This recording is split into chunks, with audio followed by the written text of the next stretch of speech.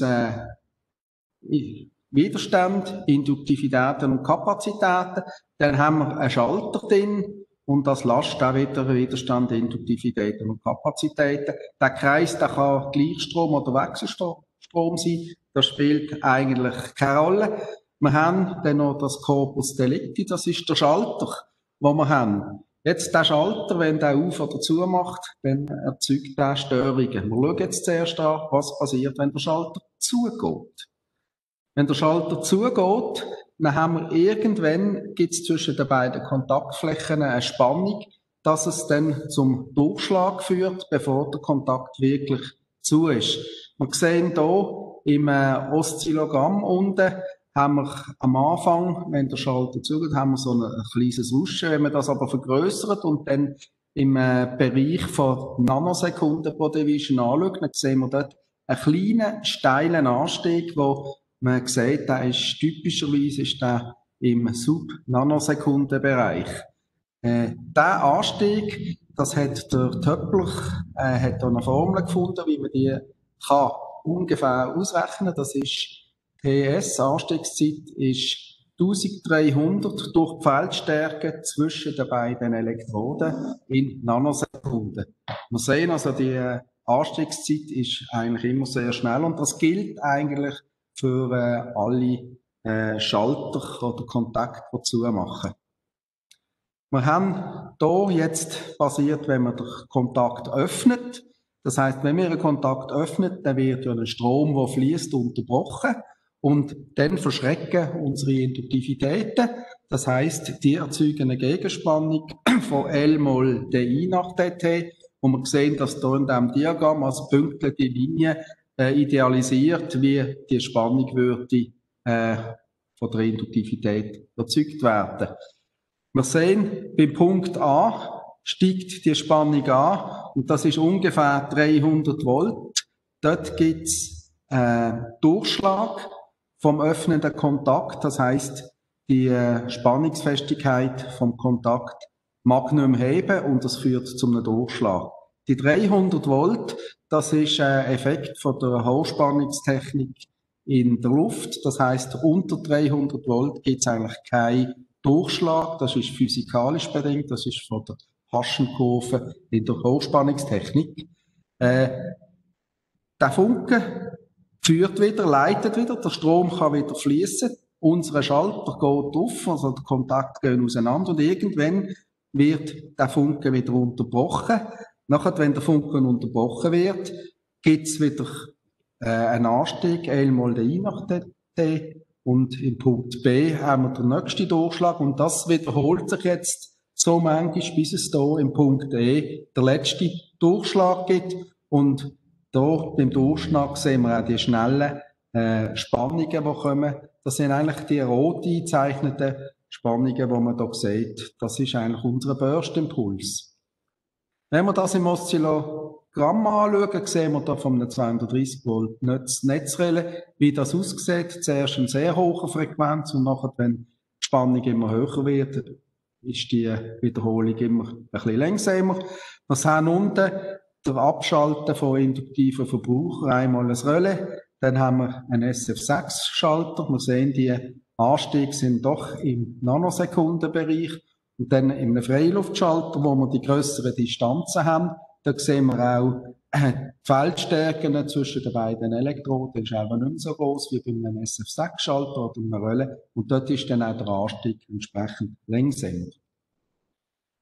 Für eine EMV-Phänomen nachzuvollziehen, da empfehle ich eigentlich immer, wenn man mal eine Störung hat, noch immer muss man sich überlegen, was ist es für ein Phänomen, was haben wir an Störquellen und wo ist das Element, das gestört wird. Wenn man das gefunden hat, dann hat man immer eine gute Möglichkeit, äh, Kopplung zu suchen und dann auch das Problem zu beheben.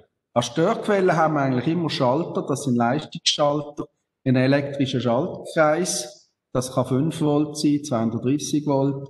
Äh, Hochspannungsschaltanlagen, Netzversorgungssystem, Steuerleitungen. Kenndaten von diesem Phänomen, das sind Impulsflanken im Nanosekundenbereich. Äh, wir haben dadurch auch ein breitbandiges Störspektrum wo bis 400 MHz geht und äh, das Hauptspektrum ist zwischen 25 und 35 MHz. Amplituden, wo wir können auftreten, die können bis zu einigen Kilovolt sein. Kopplung ist in der Regel kapazitiv auf die parallelen Leitungen, induktiv äh, mit einem Magnetfeldanteil in der Nähe vom Durchschlag. Äh, dann haben wir auch noch Abstrahlung im Schalternahfeld durch die Funkenüberstrahlung.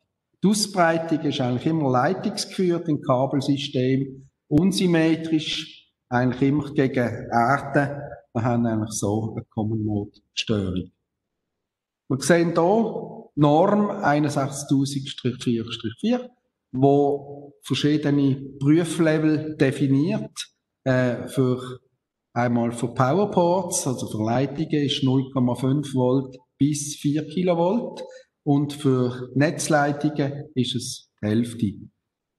Was seit 2005 noch geändert hat bei der Börsenprüfung, ist die Repetitionsfrequenz vom Börse selber. Die ist bis 2004 ist die immer 5 kHz gewesen. Und bei nachher hat man dort noch eine zweite Frequenz eingeführt, 100 kHz. Die ist eigentlich gewählt, weil die ist viel realistischer äh, für äh, Nachbildung vom Burst-Phänomen. Äh, wir sehen es auf der nächsten Tabelle. Da sind ein paar Messungen mit verschiedenen Kontakten äh, wo man seinerzeit gemacht hat. Wir haben eine Quecksilberrölle, wo eigentlich sehr schnell schaltet, in schneller Zeit. Wir haben auch sehr hohe Amplitude, bis 5 Kilovolt. Äh, dann haben wir Signalrelais, äh, Steuerrelais von 5 und von 10 Ampere. Was eigentlich von der Amplituden ausfällt, wir sehen, wir haben zwischen 500 oder zwischen 250 Volt und 3 Kilovolt. Das ist das, was bei Relais und bei Schalter oder Schützen auftritt. Die Anstiegszeit ist eigentlich immer äh, unter 3 Nanosekunden gewesen. Äh, die Norm hat sich da geeinigt auf 5 Nanosekunden, weil das ist ein Wert, wo man auch mit dem Koppelnetzwerk gut kann erreichen und nachbilden. Die Spike-Dauer ist äh, im Mikrosekundenbereich. Was man jetzt auch deutlich sieht, da sind die Repetitionsfrequenzen, die sind also zwischen 5, äh, zwischen 10 Kilohertz und 143 Kilohertz. Man sieht, die 5 Kilohertz, die eigentlich früher in der Norm war, die sind eigentlich nicht das, was real auftritt. Mit 100 Kilohertz sind wir wesentlich mehr dort, wo Musik auch spielt.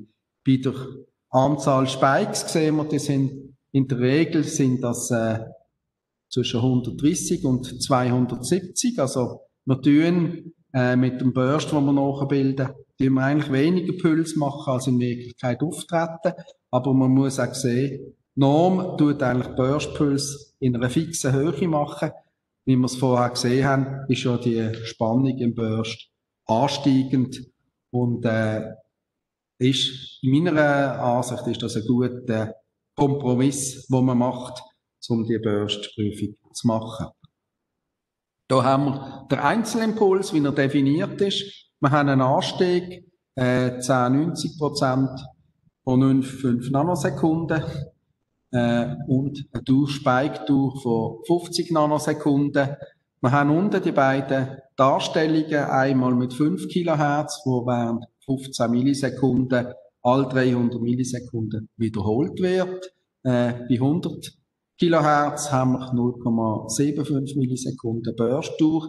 Was man da bei der Norm äh, als Idee dahinter war, man hat die Anzahl Puls nicht erhöhen so dass man eigentlich in der Norm die Energie, die pro Pulspaket in die Prüfling reingedruckt wird, hat man gleich behalten und nicht verändern. Äh, wenn man heute Norm vielleicht neu müsste schreiben, dann wären die Zahlen vielleicht anders. Aber äh, in der Regel will man ja nie groß ändern so und vor allem man will die Prüfung nicht äh, stärker oder schärfer machen. Wenn Sie aber daheim prüfen, ist Ihnen frei, da entsprechend auch mit der Burst durch spielen. Wichtig ist vielleicht auch noch bei der äh, Wiederholfrequenz, wo wir sehen, 300 Millisekunden. Das ist ein Vielfaches von unserer Netzfrequenz. Wir haben eine Periodendauer von 20 Millisekunden. Und wenn man das anschaut, sehen wir, dass man eigentlich, äh, wenn man Perioden anschaut, dass man eigentlich immer beim gleichen Phasenwinkel wieder prüft und das von einem Zyklus von 20 Millisekunden werden eigentlich immer 5 Millisekunden nicht prüft. Äh, wenn der Prüfling äh, Relevanz hat zur Netzfrequenz, dann muss man das auch hier berücksichtigen und eventuell auch äh, die Prüfung ein paar Mal wiederholen oder vielleicht informativ Börstuhr entsprechend verlängern. Wir haben hier, wie der Prüfgenerator aufgebaut ist, der hat intern hat einen Kondenser, der als Energiespeicher dient. Dann ist ein elektronischer Schalter und hinten dran ist der Pulskreis, wo über 33 Nanofarad der Puls in ein 50 Ohm System eigentlich rein äh, koppelt. Der Generator oder der Puls ist so definiert, dass man am 50 Ohm Ausgang muss messen und auch am Koppelnetzwerkausgang und dort der Puls muss nachweisen. Für Signalleitungen haben wir eine kapazitive Koppelplatte. Die ist eigentlich von der Norm her ziemlich genau definiert, wie lang, wie breit und wie hoch das sie darf sein. Also Meter lang, 10 cm hoch und äh, Breite 140 mm. Dort wird eigentlich das Signalkabel wird dort in das Kabel oder in die Koppelplatte eingelegt und wir haben dann eine Koppelkapazität von ca. 200 Nanofarad von diesen Platten aufs Kabel. Das ist vielleicht nochmal zu sagen, das ist eigentlich nur für Signalleitungen, nicht für Netzleitungen. Der Prüfaufbau im Labor, da haben wir eigentlich einen Tisch mit einer Metallplatte. Der Tisch hat eine Massenreferenzplatte, das ist eigentlich auf dem Tisch selber. Äh, die andere Methode, wenn wir keinen Tisch haben, hat man den Boden, wo Geräte am Boden stehen. In beiden Fällen müssen die äh, Prüflinge in 10 cm Höhe äh, zur Massenreferenz äh, isoliert aufgebaut werden. Die äh, Massenplatte auf dem Tisch zum Beispiel, da ist seit Norm, äh, sie muss mindestens 0,25 mm dick sein, wenn sie aus Kupfer Aluminium ist und sonst mindestens 0,65 mm dick. Das sind in meinen Augen theoretische Werte, weil eine Folie legt ja keinen auf den Tisch. Wenn man da ein Blech nimmt, dann haben wir mindestens ein bis zwei Millimeter Blechdicke oder Aluminiumplattendicke und dann ist das eigentlich in der Regel immer gegeben. Dann ist auch so, dass Geräte, die üblicherweise an der Decke oder der Wand montiert werden, werden als Tischgerät geprüft. Äh, der Prüfgenerator, der sollte direkt an der Massenplatte angebunden werden. Wir sehen später dann noch ein Bild, wie das aussieht. Da haben wir den Prüfaufbau. Äh, Koppelmodus ist es so, man tut immer alle Leitungen gleichzeitig koppeln. Eine Minute positiv und eine Minute negativ. Das hat sich auch geändert. Früher hat man alle Kombinationen von der Kopplungen hat man jeweils eine Minute positiv und eine Minute negativ getestet. Das ist vermutlich äh, äh, geopfert worden von den Kreisen, die über kurz prüfen Die haben eigentlich gesagt, die Börsenprüfung, die kommt ja über die Netzleitungen, wenn sie so reinkommt, geht sie sowieso kapazitiv gerade auf alle Leitungen und dann muss man nicht mehr alle Kombinationen machen. Man tut dann so eine Prüfung von unter einer Viertelstunde auf zwei Minuten äh, reduzieren. Was man hier sieht, das ist äh, der Unterschied zwischen Tischgerät und Bodengerät. Tischgerät, das ist der Generator oder das Koppelnetzwerk, einen halben Meter weg vom Prüfling und beim äh, Floor Standing, also beim Standgerät am Boden, ist das Kabel ein Meter plus minus 10 Zentimeter. Wichtig ist, dass der Prüfling auf 10 Zentimeter Höhe isoliert ist und wenn man es für nötig findet, befindet, kann man den Prüfling direkt auch noch erden. Das muss aber im Prüfplan muss das beschrieben werden und es muss in einer Bedienungsanleitung erwähnt werden, dass man das Gerät dann auch so muss installieren. Weil die Verbindung vom Gerät mit Erde, das hilft dem Gerät, Börsprüfungen zu überstehen, weil man sieht das aus dem Diagramm sehr schön, die Börspülse, die gehen ja über die Leitung, gehen die zum Prüfling und dann irgendwie durch die Luft gehen sie wieder auf die Massenreferenz am Boden, gehen wieder zurück zum Koppelnetzwerk und zum Generator. Wenn man jetzt die Erden anbindet, dann gehen natürlich die Störungen über das Erdband auf Massenreferenz und das hilft natürlich extrem am Prüfling, äh, die Prüfung zu bestehen. Das Gleiche ist auch, oder, wenn man das Gerät berührt während der Prüfung, dann ist man ja selber, ist man ja eigentlich auch ein Leiter für die hochfrequenten Pulse. Das ist so wie die Magie von Hand anlegen und das, äh, dort man, man sagen, Hand anlegen hilft dem Prüfling, äh, eine Prüfung zu bestehen. Das sollte man natürlich auch nicht machen. Da haben wir noch das Bild aus der Norm ein bisschen koloriert, äh, dass man sieht, man sieht auf dem Tisch Massenplatte, blau eingefärbt. Dann sehen wir die 10 cm, wo der Prüfling isoliert ist. Wir sehen auch deutlich, dass der Generator muss an die Massenplatte äh, niederinduktiv verbunden werden. Dann muss der Tisch auch geerdet sein.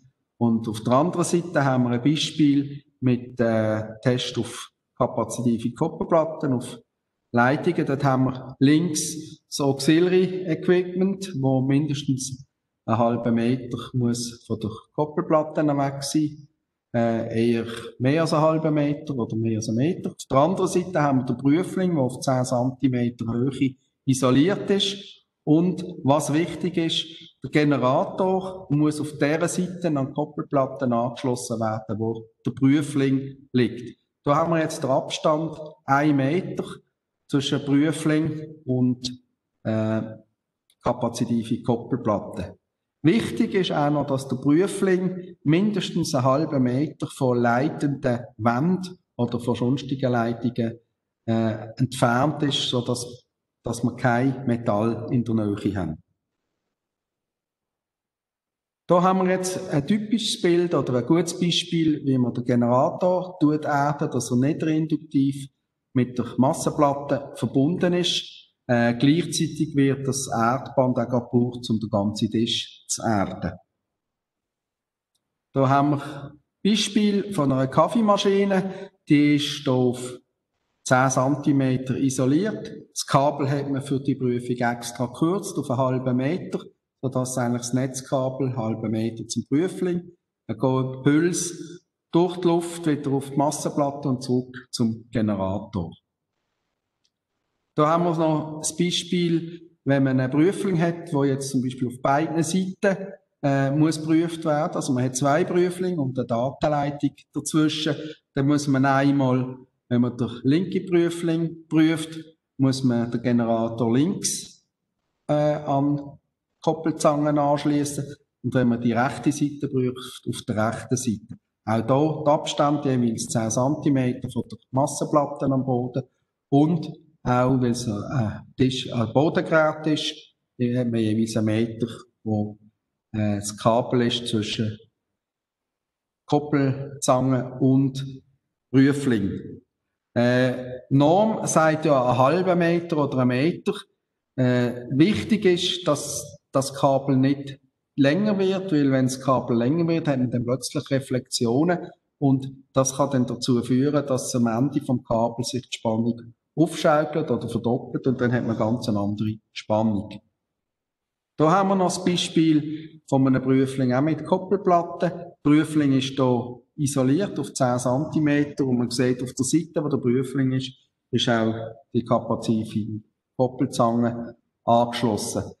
Wichtig ist auch, dass die kapazitive Koppelplatte, die tut selber ja auch noch strahlen. Darum ist der halb Meter Abstand auch noch wichtig. Da haben wir nochmal das Bild auch von einem anderen Prüfling, wo auch wieder den Abstand schön zeigt, bis mal einen halben Meter vom Generator weg. Und auf der Seite, wo der Computer ist, Auxiliary Equipment, da könnte man noch mit einer Ferritzange oder mit einem CDM von der Teil 6 Prüfung könnte man noch weiter den Burst entkoppeln. Das ist ein Beispiel, wenn der Anschluss oben reinkommt. Äh, da tut man das Kabel unten, hat man das äh, Datenkabel und geht dann senkrecht in 50 cm rauf zum Anschluss, wo oben am Prüfling ist. Wichtig ist, wenn man so das besondere Setup hat, wo man nicht unbedingt äh, gerade in der Norm sagen wie es ist, dass man es aufzeichnet und dass man es im Report auch so dokumentiert, dass wenn jemand die Prüfung will wiederholen, dass man es sieht, wie man es gemacht hat, dass man es auch wieder gleich kann machen. Gut, jetzt machen wir noch jetzt praktische Beispiele. Wir haben jetzt hier unsere Prüfung, wir haben den Generator, dann haben wir als Prüfling haben wir eigentlich hier ein Lütti, das schnell einschalten. Ja. Und man kann hier lüten, das heisst, es lütet einmal und nachher wird es noch ein zweites Mal lüten. Das ist eigentlich zugleich gerade noch Funktionskontrolle, ob der Prüfling sich so verhalten, wie er sollte, ohne dass er äh, gestört wird. Wir prüfen zuerst, wir sehen wir die Prüfung, wir haben hier ein Netzgerät, wir haben ein Netz Speisleitung, wo auf einen halben Meter äh, reduziert ist. Wir haben das Kabel hier, jetzt, weil wir es nicht wollen, äh, einfach kürzen, haben wir das meanderförmig äh, mit einem Gummi zusammen gemacht. Also, es gibt manchmal auch noch die, die, die, die Metallstahl oder die Plastikding, wo meint Kabel, wenn es ausgeliefert wird, jetzt eigentlich zusammengebunden.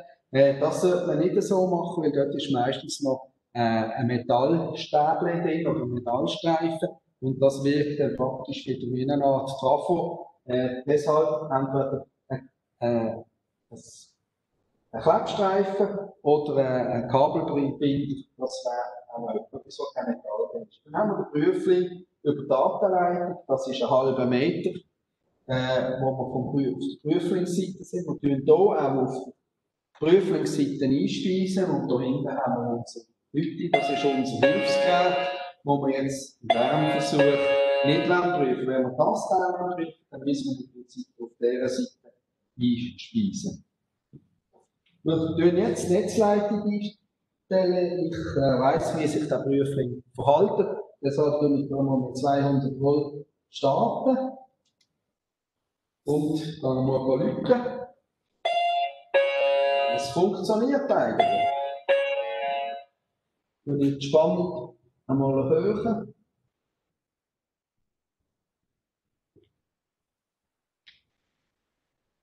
Druck. Aha. Die Funktion ist bereits gestört. Wir sehen, wir haben 400 Volt eingespeisen.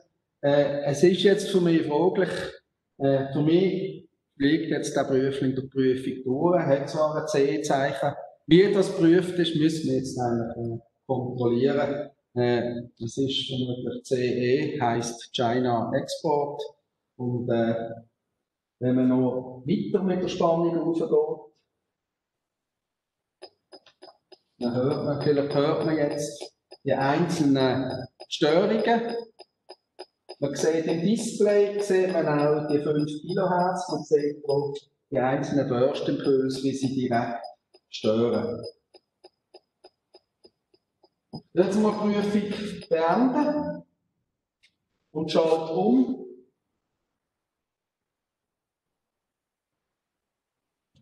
Kopplung.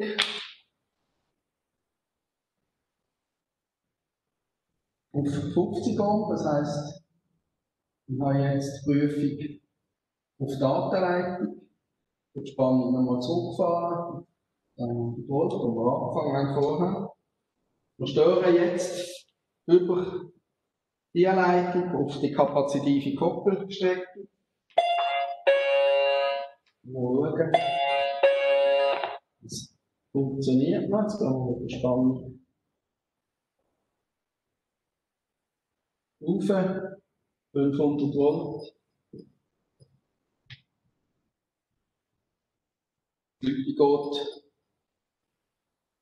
auch nicht. Also ist eigentlich hier auch schon bei 500 Volt ist das Ding schon gestört. Äh, wir sehen, da hat man jetzt einiges Potenzial, zum, zum den ganzen Prüfling äh, zu entstören.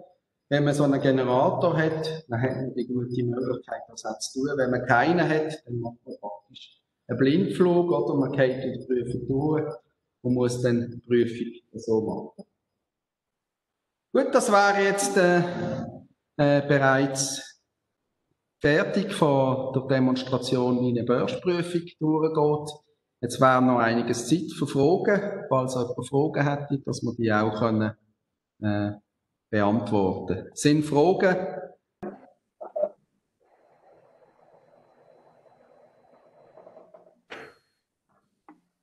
Aus? Nein, nicht dass irgendjemand noch Fragen hat. In dem Fall ist alles klar. Falls doch noch Fragen auftauchten, äh, ein E-Mail an info.emitech, dann äh, können wir das beantworten und so auch Stellung nehmen. Gut, herzlichen Dank. Äh, ich freue mich, dass du das genau, Webinar so durchgeführt hast. Wir werden weitere Webinare durchführen. Würde mich auch sehr freuen, wenn äh, da wieder Fragen dazu ähm, Wie gesagt, Fragen haben wir noch da, Webinars noch da. Äh, das Gleiche, wo ich gerne äh, Fragen also selbstständig dazukommen. Und ich würde mir gerne das Webinar abschließen. Äh, herzlichen Dank für Ihre Teilnahme. Es hat mich gefreut, so viele Leute uns begrüßen für das. Und äh, ja, Mal. Ja, mich auch gefreut, dass so viele Leute sich die Zeit genommen haben, um mir zuzuhören und sich EMV und Börsbrücken zu erfahren. Vielen Dank. Ade. Ade. Ade.